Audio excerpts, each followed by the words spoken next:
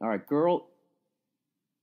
Wow, this guy tried to write "girl is fucking with my head," and she's so fucking with his head. He wrote "girl, girls if fucking with my head."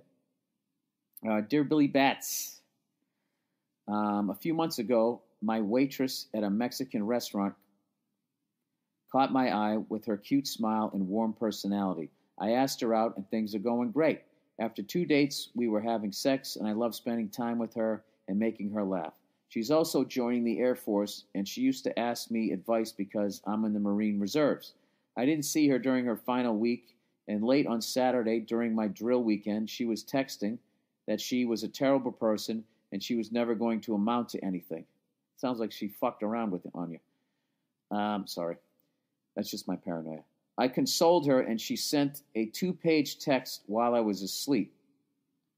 At 6 a.m. the next morning, I woke up to the text that read, This has been eating away at me, and I had a few glasses of wine and can't hold it in. Oh, here it comes. On Wednesday, I had lunch with my old friend with benefits, and I ended up blowing him.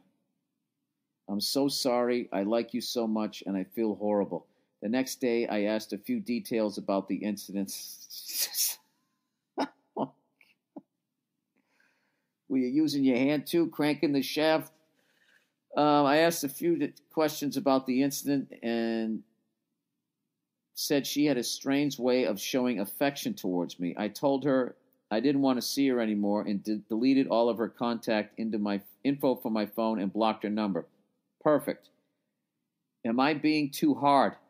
Is it really so hard to not suck a dick? I've never had the urge. She even told me not to cheat on her and then does this. I probably should have seen it coming because apparently she'd also had a threesome with two guys. She seems so nice, though. This is the first time I've been cheated on and it's fucking with my head. I'm 23. This shouldn't be that big of a deal, but my confidence took a serious blow here, no pun intended. Um, hey, dude, you know, that it, that happened to me at least three times in my life that I'm aware of. Women fucking cheat too. All right. I mean, everybody knows that guys are dogs, but women do it fucking too. All right. And um, how many fucking? Uh, I don't want to get it. It's just, dude.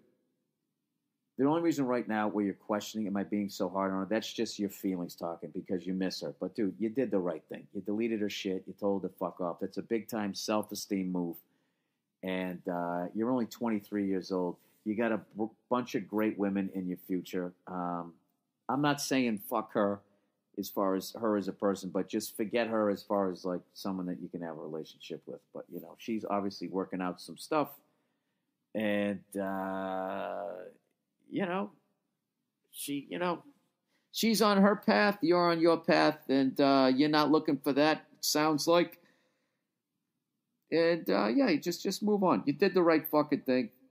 You know, allow yourself to be sad and go through the shit and all that. You know, don't do the dumb guy thing where you just try to shut off your feelings. Go through the feelings, fucking cry it out of you when no one's around. Don't make it awkward for other fucking people. And then, uh, you know, just don't fuck with anybody for a while. You know, figure out what the fuck you want to do next. But don't go back to her. You can't go back to her. Um, yeah, I, I wouldn't do that. Plus, you know, she's joining the fucking Air Force. You're going to the Marines anyways. You know?